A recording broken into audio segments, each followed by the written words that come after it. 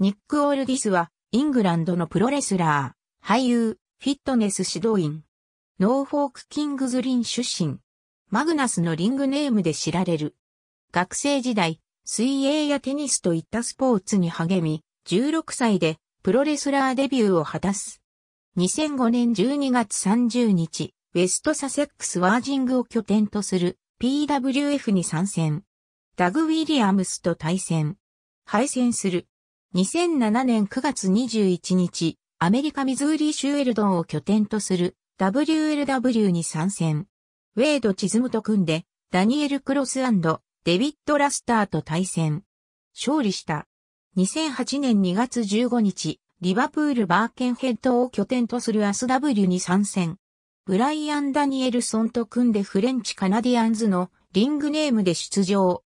4月30日、インパクトにてダグ・ウィリアムスロブ・テリーとブリティッシュ・インベイジョンなるユニットを結成。チーム 3D、モーターシティ・マシンガンズ、ビアマネー・インクなどのチームと抗争を繰り広げる。7月30日、IWGP タッグ王座を保持チーム 3D にテーブルマッチで挑戦。一度はテーブルに叩きつけられるもレフェリーが失神していたために決着せず、隙をついて乱入してきたエリック・ヤングがベルトでブラザー D ボンを殴打して倒し、気絶状態になっていたマグナスと D ボンの位置を入れ替えて勝利。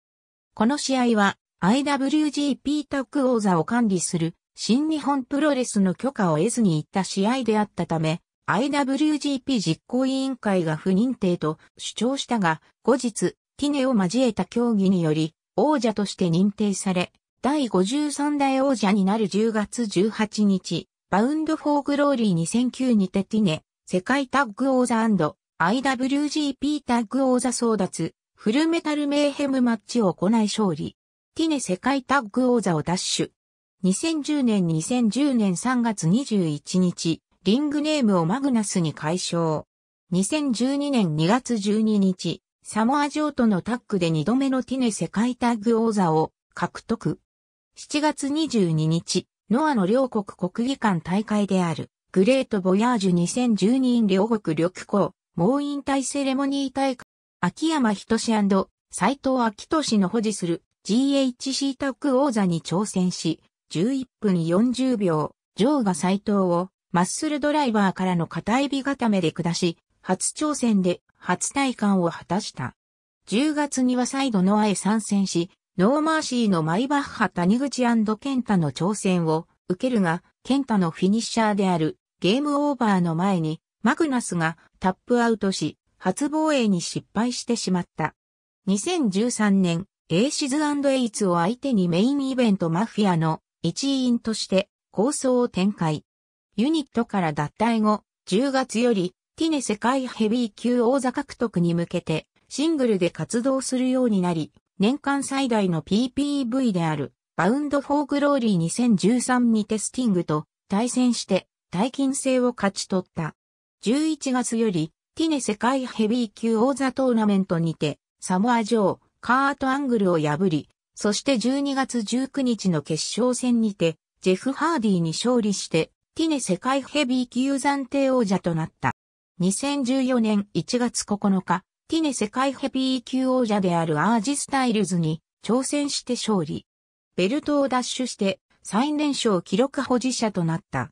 3月2日、レッスル -1 にティネ世界ヘビー級王者として参戦。海相手に防衛した。2015年7月9日、リングネームをニック・オールディスに解消。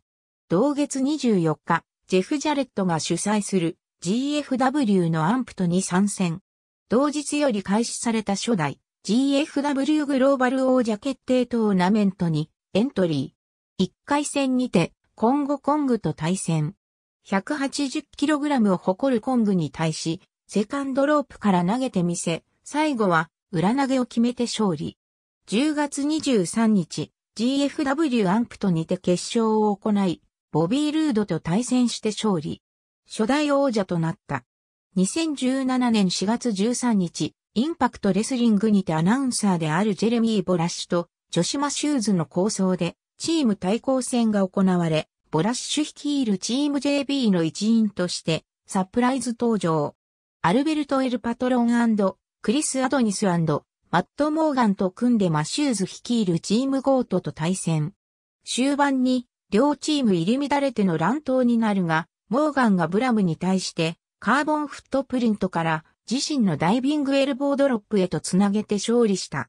2017年12月9日、ティム・ストームを破り、第130代 NWA 世界ヘビー級王座につく。当面タームマグダディドライバー。ありがとうございます。